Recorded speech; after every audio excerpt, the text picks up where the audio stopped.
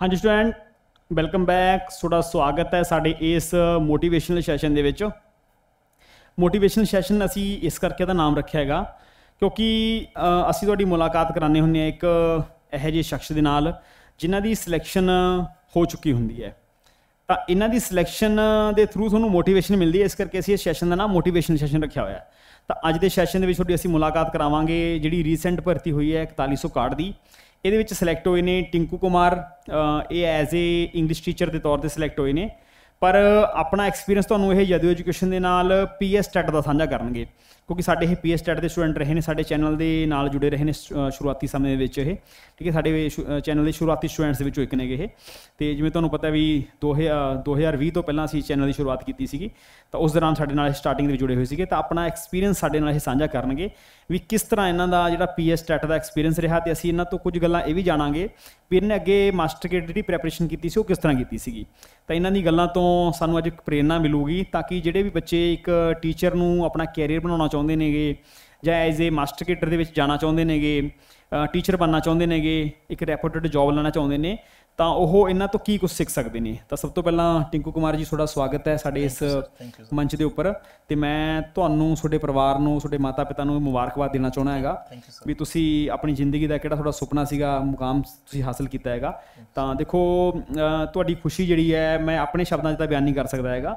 ਤਾਂ ਸਭ ਤੋਂ ਪਹਿਲਾਂ ਤਾਂ ਮੈਂ ਇੱਕ ਲਾਈਨ ਦੇ ਵਿੱਚ ਤੁਹਾਨੂੰ ਇਹ ਪੁੱਛਣਾ ਚਾਹੂੰਗਾ ਵੀ ਤੁਹਾਨੂੰ ਖੁਸ਼ੀ ਕਿਸ ਪ੍ਰਕਾਰ ਦੀ ਹੋ ਰਹੀ ਹੈਗੀ ਅੱਜ? ਇਸ ਤੁਸੀਂ ਜੌਬ ਲਈ ਹੈ ਤੁਸੀਂ ਜੁਆਇਨ ਕੀਤਾ ਹੈਗਾ। Actually, sir, now I can say that that I am relaxed or comfortable. Because ਹੁਣ ਮੈਂ ਕੋਈ ਇੰਟਰਵਿਊ ਦੇਣ ਜਾਣਾ ਕਿਸੇ ਮੈਂ ਨਵੇਂ ਕੋਈ ਟਰਾਈ ਨਹੀਂ ਕਰਨਾ ਹੁਣ ਮੈਂ ਇੱਕ ਵਾਰੀ ਲਈ ਇੱਕ ਜੋ ਸਟੇਟਸ ਹੈ ਇੱਕ ਜੌਬ ਹੈ ਮੈਨੇ ਅਚੀਵ ਕਰ ਲਈ ਹੈ ਨੋ ਡਾਊਟ ਅੱਗੇ ਵੀ ਕਰੂੰਗਾ ਬਟ ਫਿਲਹਾਲ ਮੈਂ ਕਹਿ ਸਕਦਾ ਹਾਂ ਕਿ ਮੈਂ ਇੱਕ ਸਿਕਿਉਰ ਜੌਬ ਦੇ ਵਿੱਚ ਆ ਚੁੱਕਿਆ ਹਾਂ। ਸੋ ਹੁਣ ਇੱਕ ਮਾਈਂਡ ਤੇ ਬਰਡਨ ਸੀ ਉਹ ਨਹੀਂ ਰਿਹਾ।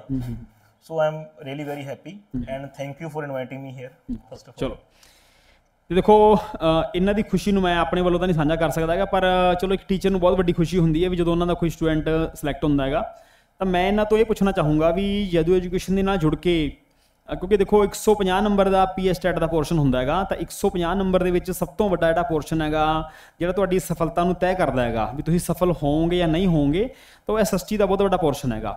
ਐਸਐਸਟੀ ਦਾ ਬਹੁਤ ਵੱਡਾ ਪੋਰਸ਼ਨ ਹੈ ਤੇ ਸਭ ਤੋਂ ਵੱਡਾ ਜਿਹੜਾ ਸਟੂਡੈਂਟਸ ਨੂੰ ਡਰ ਲੱਗਦਾ ਹੁੰਦਾ ਉਹ ਸੀਡੀਪੀ ਦਾ। ਤਾਂ ਤੁਹਾਡਾ ਐਸਐਸਟੀ ਦੇ ਨਾਲ ਤੇ ਸੀਡੀਪੀ ਦੇ ਨਾਲ ਤੁਹਾਡਾ ਐਕਸਪੀਰੀਅੰਸ ਕੀ ਰਿਹਾ ਜਦੋਂ ਐਜੂਕੇਸ਼ਨ ਦਾ? ਐਕਚੁਅਲੀ ਸਰ ਮੈਂ ਇਹ ਗੱਲ ਕਹਿ ਸਕਦਾ ਕਿ ਮੈਨੂੰ ਐਸਐਸਟੀ ਬਾਰੇ ਆਪਾਂ ਕਹਿੰਦੇ ਵੀ ਇੱਕ ਏਬੀਸੀ ਵੀ ਨਹੀਂ ਪਤਾ ਸੀ। ਜੇ ਆਪਾਂ ਕਹਿ ਸਕਦੇ ਹਾਂ। ਜਦੋਂ ਮੈਂ ਯੁੱਧ ਐਜੂਕੇਸ਼ਨ ਜੁੜਿਆ ਸਰ ਤਾਂ ਉਸ ਤੋਂ ਬਾਅਦ ਮੈਨੂੰ ਕਲੈਰਿਟੀ ਹੋਣੀ ਸਟਾਰਟ ਹੋਈ ਤੇ ਮੈਨੂੰ ਉਸ ਫਸਟ ਟਾਈਮ ਸਰ ਰਿਅਲਾਈਜ਼ ਹੋਇਆ ਕਿ ਇੰਨਾ ਵਾਸਟ ਸਿਲੇਬਸ ਵੀ ਹੋ ਸਕਦਾ ਇਸ ਚੀਜ਼ ਦਾ ਤੇ ਉਹਨੂੰ ਕੋਈ ਵੀ ਟੀਚਰ ਇੰਨੇ ਵਧੀਆ ਤਰੀਕੇ ਨਾਲ ਕਰਵਾ ਸਕਦਾ ਹੈ। ਤਾਂ ਤੁਹਾਡਾ ਸਰ ਮੈਂ ਐਕਚੁਅਲੀ ਰਿਜ਼ਲਟ ਦੇਖ ਕੇ ਹੀ ਤੁਹਾਡੀ ਜੋ ਐਜੂਕੇਸ਼ਨ ਹੈ, ਜਦੋਂ ਐਜੂਕੇਸ਼ਨ ਜੁੜਿਆ ਸੀਗਾ ਬੇਸਿਕਲੀ ਮੈਨੇ ਮੈਂ ਐਂ ਨਹੀਂ ਕਹਦਾ ਸਰ, ਮੈਂ ਤੁਹਾਨੂੰ ਜਾਣਦਾ ਸੀ ਪਹਿਲਾਂ ਤੋਂ ਜਾਂ ਕੁਝ ਹੋਰ, ਜੋ ਪਹਿਲਾਂ ਤੁਹਾਡੇ ਪ੍ਰੀਵੀਅਸ ਸਟੂਡੈਂਟ ਤੁਹਾਡੇ ਪਾਸ ਆਊਟ ਹੋਏ ਸੀ, ਜਾਂ ਮੈਂ ਉਹਨਾਂ ਦੀ ਪਿਕਚਰਸ ਦੇਖੀਆਂ ਅਖਬਾਰ ਦੇ ਵਿੱਚ, ਜਾਂ ਕਹਿ ਸਕਦੇ ਹੋ ਤੁਸੀਂ, ਜਾਂ ਇੱਕ ਪੈਂਫਲੇਟ ਦੇ ਵਿੱਚ, ਉਹਨਾਂ ਨੂੰ ਦੇਖ ਕੇ ਹੀ ਤੁਹਾਡੇ ਕੋਲ ਆਇਆ ਸੀਗਾ। ਉਹ ਜਦੋਂ ਐਜੂਕੇਸ਼ਨ ਜੁੜਨ ਤੋਂ ਬਾਅਦ ਸਰ ਮਤਲਬ ਪਾਰਸ਼ਲੀ ਮੈਨੂੰ ਪਤਾ ਚੱਲਣ ਲੱਗ ਗਿਆ ਕਿ ਇਹ ਐਜੂਕੇਸ਼ਨ ਦਾ ਪਲੇਟਫਾਰਮ ਹੈ, ਬਹੁਤ ਅੱਛਾ ਹੈ। ਬੇਸਿਕਲੀ ਮੈਨੂੰ ਕਲੈਰਿਟੀ ਹੋ ਗਈ ਕਿ ਮੈਂ ਇੱਥੋਂ ਕੁਝ ਅਚੀਵ ਕਰ ਸਕਦਾ ਸਿਮਿਲਰਲੀ ਸਰ 60 ਮਾਰਕਸ ਦੀ ਜੋ ਸਾਨੂੰ ਕੁਐਸਚਨ ਆਏ ਸੀ ਐਸਐਸਟੀ ਵਿੱਚ ਬੇਸਿਕਲੀ ਉਹ ਚੋਂ ਕੁਝ ਪੈਡਾਗੋਜੀ ਦੇ ਕੁਐਸਚਨ ਵੀ ਆਉਂਦੇ ਨੇ ਨਾ ਸੀਡੀਪੀ ਕੁਐਸਚਨ ਆਉਂਦੇ ਨੇ 20 ਮਾਰਕਸ ਦੀ ਹਿਸਟਰੀ ਆਉਂਦੀ ਹੈ 50 ਮਾਰਕਸ ਦੀ ਪੋਲਿਟੀ ਆਉਂਦੀ ਹੈ ਤੇ 50 ਮਾਰਕਸ ਦੀ ਆਪਾਂ ਨੂੰ ਜੀਓਗ੍ਰਾਫੀ ਆਉਂਦੀ ਹੈ। ਤੇ ਸਾਨੂੰ ਪਤਾ ਵੀ ਨਹੀਂ ਸਾਰੇ ਚੀਜ਼ਾਂ। ਜੋ ਇਹ ਸਿਲੇਬਸ ਦੀ ਵੈਰੀਫਿਕੇਸ਼ਨ ਸੀ ਸਾਨੂੰ ਤੁਸੀਂ ਦੱਸੀ ਸੀ ਕਿ ਇਹ ਚੀਜ਼ਾਂ ਆਉਂਦੀਆਂ ਨੇ ਅਨੇਡ ਮਾਰਕਸ ਦੀਆਂ ਆਉਂਦੀਆਂ ਨੇ। ਔਨ ਦਾ ਅਦਰ ਹੈਂਡ ਆਪਾਂ ਸਾਈਕੋਲੋਜੀ ਦੀ ਸਰ ਮੇਰੇ ਕੋਲ ਤੁਹਾਡੇ ਨੋਟਸ ਅਜੇ ਵੀ ਜੋ ਤੁਸੀਂ ਕਰਵਾਉਂਦੇ ਹੁੰਦੇ ਸੀਗੇ ਅਸੀਂ ਉਹਨੂੰ ਰਾਈਟ ਡਾਊਨ ਕਰਦੇ ਸੀਗੇ। ਉਹ ਜਿਵੇਂ ਕੋਲੇ ਇੱਕ ਸੇਫ ਪਏ ਨੇ ਕੋਈ ਮੇਰੇ ਤੋਂ ਮੰਗਦਾ ਤਾਂ ਮੈਂ ਕਹਿ ਦਿੰਦਾ ਵੀ ਹਾਂ ਨੋਟਸ ਹੈਗੇ ਨੇ ਮੇਰੇ ਕੋਲੇ। ਤੇ ਸਰ ਉਹ ਨੋਟਸ ਦੇ ਵਿੱਚ ਕਹਿ ਸਕਦਾ ਕਿ ਮੈਂ ਮੈਨੂੰ 30 ਦੇ ਵਿੱਚੋਂ ਕੁਐਸਚਨ 30 ਆ ਗਏ ਸੀਗੇ। ਨੋ ਡਾਊਟ ਮੇਰੇ ਮਾਰਕਸ 25 ਦੇ ਅਪਰੋਕਸ ਆਏ ਸੀਗੇ। ਬਟ ਮੈਨੂੰ ਕੁਝ ਹੋਰ ਪੜ੍ਹਨ ਦੀ ਲੋੜ ਨਹੀਂ ਪਈ ਸਰ ਐਸਐਸਟੀ ਦਾ 60 ਨੰਬਰ ਦਾ ਪੋਰਸ਼ਨ ਜਿਹੜਾ। ਉਹ ਤਾਂ ਸਰ ਤੁਹਾਡੇ ਅਗਰ ਮੈਂ ਗੱਲ ਕਰਾਂ 60 ਕੁਐਸਚਨ ਦੇ ਵਿੱਚੋਂ ਨੀਅਰ ਅਬਾਊਟ 55 ਕੁਐਸਚਨ ਦੇ ਆਸ-ਪਾਸ ਸਾਨੂੰ ਸਿਲੇਬਸ ਵਿੱਚੋਂ ਆ ਗਏ ਸੀਗੇ। ਇੱਕ ਦੋ ਕੁਐਸਚਨ ਆਪਾਂ ਕਹਿ ਸਕਦੇ ਹਾਂ ਜਨਾ ਐਕਸੈਪਸ਼ਨ ਦਾ ਐਵਰੀਵੇਅਰ ਨਹੀਂ ਆਉਂਦੇ। ਹਨਾ ਕਿਉਂਕਿ ਐਸਐਸਟੀ ਸਰ ਇੰਨੀ ਵਾਸਟ ਹਿਸਟਰੀ ਇੰਨੀ ਵਾਸਟ ਸਰ ਠੀਕ ਹੈ। ਸੋ ਇੱਕ ਦੋ ਕੁਐਸਚਨ ਜੇ ਮੈਂ ਕਹਿ ਸਕਦਾ ਨਹੀਂ ਆਏ ਬਾਕੀ ਸਾਰੇ ਕੁਐਸਚਨ ਸਰ ਜੋ ਕਰਵਾਏ ਤੁਸੀਂ। ਉਹ ਮਤਲਬ ਸਿਲੇਬਸ ਉਹ ਕਵਰ ਕਰ ਰਹੀ ਸੀ ਪੋਸਨ ਨੂੰ ਬਿਲਕੁਲ ਸਰ ਬਿਲਕੁਲ ਸਰ ਪੂਰਾ ਸਿਲੇਬਸ ਕਵਰ ਕੀਤਾ ਤੇ ਦੂਸਰੀ ਗੱਲ ਸਰ ਕੁਝ ਬੱਚੇ ਸਰ ਐਵੇਂ ਕਰਦੇ ਨੇ ਕਿ ਤੋਂ ਪੜ੍ਹ ਲੈਂਦੇ ਨੇ ਕੋਈ ਚੈਨਲ ਜੁਆਇਨ ਕਰ ਲੈ ਕੋਈ ਅਕੈਡਮੀ ਜੁਆਇਨ ਕਰ ਲਈ ਕੋਈ ਐਪ ਜੁਆਇਨ ਕਰ ਲੈਂਦੇ ਨੇ ਬੇਸਿਕਲੀ ਤਾਂ ਉਹ ਐਪ ਜੁਆਇਨ ਕਰਨ ਤੋਂ ਬਾਅਦ ਸਰ ਜਾਂ ਚੈਨਲ ਜੁਆਇਨ ਕਰਨ ਤੋਂ ਬਾਅਦ ਵੀ ਕਿਤੇ ਹੋਰ ਪੜ੍ਹਦੇ ਨੇ ਫਿਰ ਉਹ। ਮੀਨਸ ਬੁੱਕਸ ਚੋਂ ਪੜ੍ਹਦੇ ਨੇ। ਬਟ ਸਰ ਮੈਂ ਗੱਲ ਫ੍ਰੈਂਕਲੀ ਕਹਿ ਸਕਦਾ ਕਿ ਮੈਂ ਸਿਰਫ ਤੁਹਾਡੇ ਚੈਨਲ ਦੀ ਸਟੱਡੀ ਕੀਤੀ ਹੈ। ਮੈਨੇ ਹੋਰ ਕੋਈ ਵੀ ਐਕਸਟਰਾ ਐਫਰਟ ਨਹੀਂ ਕੀਤੇ। ਥੋੜਾ ਮੈਂ ਲੇਜ਼ੀ ਵੀ ਹਾਂ ਤੁਸੀਂ ਕਹਿ ਸਕਦੇ ਹੋ। ਸੋ ਬਸ ਮੇਰੇ ਲਈ ਸਿਰਫ ਸਫੀਸ਼ੀਐਂਟ ਸੀਗਾ। ਕਿਉਂਕਿ ਸਰ ਜੇ ਉਹ ਕਲੀਅਰ ਨਾ ਹੋਇਆ ਹੁੰਦਾ ਸ਼ਾਇਦ ਮੈਂ ਜ਼ਰੂਰ ਹੁੰਦਾ ਵੀ ਨਾ। ਕਿਉਂਕਿ ਮੇਰਾ ਫਰਸਟ ਸਟੈਪ ਸੀਗਾ ਕੁਆਲੀਫਿਕੇਸ਼ਨ ਦਾ ਐਲੀਜੀਬਿਲਟੀ ਦਾ। ਐਲੀਜੀਬਲ ਹੋਇਆ ਮੈਂ that's why I appeared myself in master cadre and I clear it ਚਲੋ ਤੇ ਇਹ ਤਾਂ ਚਲੋ ਐਕਸਪੀਰੀਅੰਸ ਤੁਹਾਡਾ ਐਸਐਸਟੀ ਦੇ ਨਾਲ ਰਿਹਾ ਇਹ। ਤੇ ਹੁਣ ਤੁਸੀਂ ਐਜ਼ ਏ ਇੰਗਲਿਸ਼ ਟੀਚਰ ਦੇ ਤੌਰ ਤੇ ਸਿਲੈਕਟ ਹੋਏ ਹੋ ਕਿਉਂਕਿ ਤੁਹਾਡੀ ਐਮਏ ਇੰਗਲਿਸ਼ ਸੀਗੀ। ਤੇ ਤੁਸੀਂ ਗ੍ਰੈਜੂਏਸ਼ਨ ਦੇ ਵਿੱਚ ਲਿਟਰੇਚਰ ਵਿਸ਼ਾ ਰੱਖਿਆ ਹੋਇਆ ਸੀਗਾ। ਇਸ ਕਰਕੇ ਤੁਹਾਨੂੰ ਇੰਗਲਿਸ਼ ਦਾ ਕੋਈ ਸਮੱਸਿਆ ਦੇਖੋ ਹੈ ਨਹੀਂ ਸੀਗੀ। ਤੇ ਪੰਜਾਬੀ ਵਿਸ਼ੇ ਦੇ ਨਾਲ ਅਸੀਂ ਬਿਲਕੁਲ ਟੱਚ ਦੇ ਵਿੱਚ ਰਹਿਣੀ ਹੈਗੇ ਕਿਉਂਕਿ ਮਤਲਬ ਗ੍ਰੈਜੂਏਸ਼ਨ ਤੱਕ ਸਾਨੂੰ ਪੰਜਾਬੀ ਤਾਂ ਕੰਪਲਸਰੀ ਹੈਗੀ ਆ ਤਾਂ ਕੋਈ ਸਮੱਸਿਆ ਵਾਲੀ ਹੈ ਨਹੀਂ ਸੋਨੂੰ ਉਹਦੇ ਵਿੱਚ ਵੀ। ਤੇ ਜਿਹੜਾ ਇੱਕ ਨੈਕਸਟ ਵਿਸ਼ਾ ਜਿਹੜਾ ਸਾਡਾ ਸੀਡੀਪੀ ਦਾ ਮੰਨਿਆ ਜਾਂਦਾ ਹੈਗਾ ਉਹ ਇਹ ਮੰਨਿਆ ਜਾਂਦਾ ਵੀ ਬੜਾ ਟੈਕਨੀਕਲ ਜਿਹਾ ਵਿਸ਼ਾ ਹੈਗਾ ਤੇ ਬਹੁਤੇ ਸਟੂਡੈਂਟ ਨੂੰ ਸਮਝ ਨਹੀਂ ਆਉਂਦਾ ਵਿਸ਼ਾ। ਤਾਂ ਉਸ ਸੀਡੀਪੀ ਦੇ ਬਾਰੇ ਜਿਹੜੀ ਕਿ ਤੁਹਾਨੂੰ ਮੈਡਮ ਕਰਾਉਂਦੇ ਨੇ ਸੀਡੀਪੀ ਹਾਂਜੀ। ਤੇ ਉਸ ਵਿਸ਼ੇ ਦੇ ਬਾਰੇ ਤੁਸੀਂ ਕੀ ਕਹਿਣਾ ਚਾਹੋਗੇ ਵੀ ਤੁਸੀਂ ਤੁਹਾਨੂੰ ਜਦੋਂ ਐਜੂਕੇਸ਼ਨ ਦਾ ਫਾਇਦਾ ਹੋਇਆ ਸੀਡੀਪੀ ਦਾ ਜਾਂ ਨਹੀਂ ਹੋਇਆ ਠੀਕ ਹੈ ਕੀ ਐਕਸਪੀਰੀਅੰਸ ਰਿਹਾ ਤੁਹਾਡਾ? ਹੋਇਆ।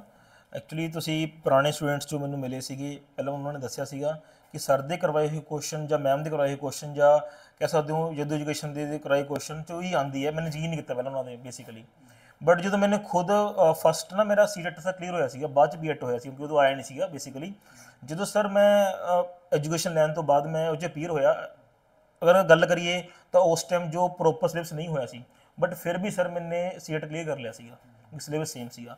ਤੇ ਮੈਂ ਸਰ ਕੁਐਸਚਨ ਦੇਖੇ ਜਾ ਕੇ, ਉਸ ਟਾਈਮ ਉਹਦੇ 24 ਕੁਐਸਚਨ ਆ ਚੁੱਕੇ ਸੀ ਉਹਦੇ ਵਿੱਚੋਂ 30 out of 30 so sir psychology ਵਿੱਚ ਤਾਂ ਮੈਂ ਇਹ ਗੱਲ ਕੀਤੀ ਵੀ ਕਹਿ ਸਕਦਾ ਹਾਂ ਕਿ ਦਾ ਬੈਸਟ ਚਲੋ, ਤੁਸੀਂ ਐਸਐਸਟੀ ਦੀ ਗੱਲ ਦੱਸੀ ਹੈ, ਤਾਂ ਦੇਖੋ ਹੁਣ ਸਟੂਡੈਂਟਸ ਇਹ ਨਾ ਅਸੀਂ ਇਸ ਮੰਚ ਦੇ ਉੱਪਰ ਇਸ ਜਿਹੜੇ ਸ- ਸਫਲ ਹੋ ਜਾਂਦੇ ਨੇ, ਕਿਉਂਕਿ ਨਾ ਜੇ ਮੰਨ ਲਓ ਇਹ ਸਫਲ ਨਾ ਹੋਏ ਹੁੰਦੇ ਤੇ ਆ ਕੇ ਤੁਹਾਡੇ ਕੋਲ ਕੁਝ ਗੱਲਾਂ ਕਰਦੇ ਇਹ, ਫਿਰ ਸ਼ਾਇਦ ਤੁਸੀਂ ਯਕੀਨ ਨਹੀਂ ਕਰਨਾ ਸੀਗਾ। ਪਰ ਜਦੋਂ ਕੋਈ ਬੱਚਾ ਸਫਲ ਹੋ ਜਾਂਦਾ ਨਾ, ਤਾਂ ਫਿਰ ਉਹਦੀ ਗੱਲ ਸੁਣੀ ਵੀ ਜਾਂਦੀ ਹੈ ਤੇ ਆਪਣਾ ਐਕਸਪੀਰੀਅੰਸ ਸਾਂਝਾ ਵੀ ਤੁਹਾਡੇ ਨਾਲ ਕਰਦਾ ਹੁੰਦਾ ਹੈ ਤੇ ਅਸੀਂ ਉਹਦੀ ਗੱਲ ਸੁਣਦੇ ਵੀ ਹੈ ਫਿਰ ਆਰਾਮ ਨਾਲ ਨਾ? ਧਿਆਨ ਨਾਲ ਸੁਣਦੇ ਵੀ ਹੈ। ਤਾਂ ਮੈਨੂੰ ਇਹ ਆਸ ਹੈ ਵੀ ਜਿੰਨਾ ਕੁਝ ਇਹਨਾਂ ਨੇ ਸਿੱਖਿਆ ਹੋਇਆ ਹੈ, ਤੇ ਸਿੱਖਦੇ ਵੀ ਰਹਿਣਗੇ। ਸਾਡੇ ਕਾਫੀ ਚੰਗੇ ਸਟੂਡੈਂਟਾਂ ਦੇ ਵਿੱਚੋਂ ਇੱਕ ਨੇਗੇ ਇਹ। ਤੇ ਸਿੱਖਦੇ ਵੀ ਰਹਿਣਗੇ ਅੱਗੇ, ਤੇ ਮੈਨੂੰ ਪੂਰਾ ਯਕੀਨ ਹੈ ਵੀ ਅੱਗੇ ਇਹ ਜਿਵੇਂ ਇਹਨਾਂ ਨੇ ਸਿੱਖਿਆ ਤਾਂ ਉਹ ਸਿਖਾਉਣਗੇ ਵੀ ਅੱਗੇ, ਹਨਾ? ਤੇ ਜਿਵੇਂ ਸਾਡੇ ਜਿਹੜੇ ਸਰਕਾਰੀ ਸਕੂਲ ਨੇਗੇ, ਤੁਹਾਨੂੰ ਪਤਾ ਵੀ ਉੱਥੇ ਨੀਡੀ ਸਟੂਡੈਂਟਸ ਬਹੁਤ ਹੁੰਦੇ ਨੇਗੇ। ਤੇ ਉਹਨਾਂ ਨੂੰ ਸਭ ਤੋਂ ਜ਼ਿਆਦਾ ਐਜੂਕੇਸ਼ਨ ਦੀ ਲੋੜ ਹੀ ਉੱਥੇ ਹੈਗੀ। ਤਾਂ ਮੈਨੂੰ ਪੂਰਾ ਯਕੀਨ ਹੈ, ਮੈਨੂੰ ਪੂਰਾ ਮਾਣ ਹੈ ਇਹਨਾਂ ਦੇ ਉੱਪਰ ਵੀ ਇਹ ਜਿਹੜੇ ਨੀਡੀ ਸਟੂਡੈਂਟਸ ਨੇ ਉਹਨਾਂ ਨੂੰ ਉਹ ਕਮੀ ਨਹੀਂ ਪੂਰੀ ਹੋਣ ਦੇਣਗੇ, ਠੀਕ ਹੈ? ਮਤਲਬ ਕਮੀ ਪੂਰੀ ਹੋਣ ਦੇਣਗੇ ਉੱਥੇ, ਜਿਹੜੀ ਵੀ ਕਮੀ ਉੱਥੇ ਹੈਗੀ ਹੈ, ਤਾਂ ਉਹਨਾਂ ਨੂੰ ਕਮੀਆਂ ਨੂੰ ਦੂਰ ਕਰਨਗੇ। ਤੇ ਸ਼ਬਦਾਂ ਦਾ ਉਚਾਰਨ ਇਹਦੇ ਵਿੱਚੋਂ ਥੋੜਾ ਬਹੁਤ ਗਲਤ ਹੋ ਸਕਦਾ ਹੈ, ਤਾਂ ਤਾਂ ਮੇਰੇ ਕਹਿਣ ਦਾ ਮਤਲਬ ਹੈ ਵੀ ਜੇ ਕੋਈ ਸਮੱਸਿਆ ਉੱਥੇ ਹੈਗੀ ਹੈ ਤਾਂ ਉਸ ਸਮੱਸਿਆ ਨੂੰ ਦੂਰ ਕੀਤਾ ਜਾਊਗਾ ਇਹਨਾਂ ਵੱਲੋਂ ਤੇ ਸਮਾਜ ਸੇਵਾ ਦਾ ਜਿਹੜਾ ਇਹਨਾਂ ਨੂੰ ਇੱਕ ਮੌਕਾ ਮਿਲਿਆ ਹੈਗਾ ਤਾਂ ਇਹਨੂੰ ਬਖੂਬੀ ਉਹ ਨਿਭਾਉਣਗੇ। ਤੇ ਮੈਂ ਇਹਨਾਂ ਤੋਂ ਆਸ ਕਰਦਾ ਹੈਗਾ ਵੀ ਅੱਗੇ ਜ਼ਿੰਦਗੀ ਦੇ ਵਿੱਚ ਜਿੰਨੀਆਂ ਵੀ ਅੱਗੇ ਤਰੱਕੀਆਂ ਹੋਣਗੀਆਂ ਤਾਂ ਆਪਣੀ ਮਿਹਨਤ ਸਦਕਾ ਉਹਨਾਂ ਤਰੱਕੀਆਂ ਨੂੰ ਪ੍ਰਾਪਤ ਕਰਨਗੇ ਇਹ ਤੇ ਆਪਣੇ ਮਾਤਾ ਪਿਤਾ ਦਾ, ਆਪਣੇ ਇਲਾਕੇ ਦਾ ਸਾਡੇ ਆਪਣੇ ਜਿੱਥੋਂ ਵੀ ਇਹ ਪੜ੍ਹੇ ਹੋਏ ਨੇ ਟੀਚਰਸ ਦਾ ਉਹਨਾਂ ਦਾ ਸਾਰਿਆਂ ਦਾ ਨਾਮ ਰੋਸ਼ਨ ਕਰਨਗੇ। ਤਾਂ ਮੈਂ ਇੱਕ ਵਾਰ ਦੁਬਾਰਾ ਫਿਰ ਤੋਂ ਉਹਨਾਂ ਨੂੰ ਮੁਬਾਰਕਬਾਦ ਦਿੰਦਾ ਹੈਗਾ ਇਹਨਾਂ ਦੇ ਮਾਤਾ ਪਿਤਾ ਨੂੰ ਮੁਬਾਰਕਬਾਦ ਦਿੰਦਾ ਹੈਗਾ ਕਿਉਂਕਿ ਦੇਖੋ ਆਪਣੇ ਤੋਂ ਜ਼ਿਆਦਾ ਖੁਸ਼ੀ ਜਿਹੜੀ ਹੁੰਦੀ ਉਹ ਮਾਤਾ ਪਿਤਾ ਨੂੰ ਹੁੰਦੀ ਹੁੰਦੀ ਹੈ। ਠੀਕ ਹੈ ਜੀ?